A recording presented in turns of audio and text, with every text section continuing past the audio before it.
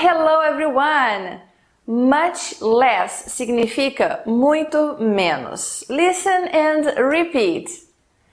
Que mulher consideraria um encontro com ele? Muito menos um casamento. What woman would consider a date with him, much less a marriage?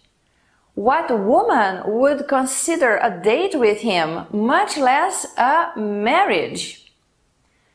E assim parece que ele nunca vai sair da oitava série, muito menos chegar à faculdade.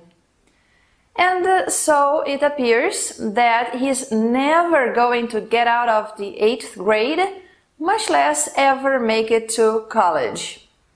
And so it appears that he's never going to get out of the eighth grade, much less ever make it to college.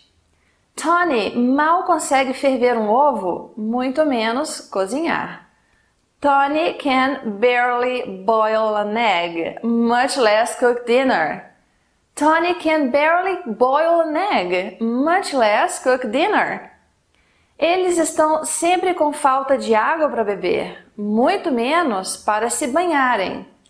They are always short of water to drink, much less to bathe in. They are always short of water to drink, much less to bathe in.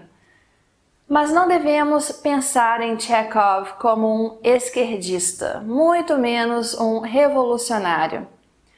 But we must not think of Chekhov as a leftist, much less as a revolutionary. But we must not think of Chekhov as a leftist, much less a revolutionary. Ela nem vai falar com ele, muito menos trabalhar com ele. She won't even talk to him, much less work with him. She won't even talk to him, much less work with him. Nós não temos dinheiro suficiente para o carro novo, muito menos para um SUV de, de luxo. We don't have enough money for a new car, much less a luxury SUV. We don't have enough money for a new car, much less a luxury SUV. Ele mal olhou para mim, muito menos sorriu.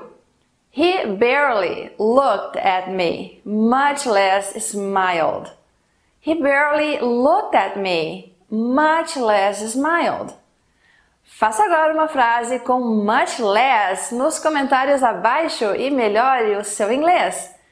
Siga o Melhore o Seu Inglês no Instagram, no Facebook, no YouTube e procure pelo podcast Melhore o Seu Inglês no seu aplicativo para ouvir podcasts para aulas particulares de inglês por Skype ou WhatsApp.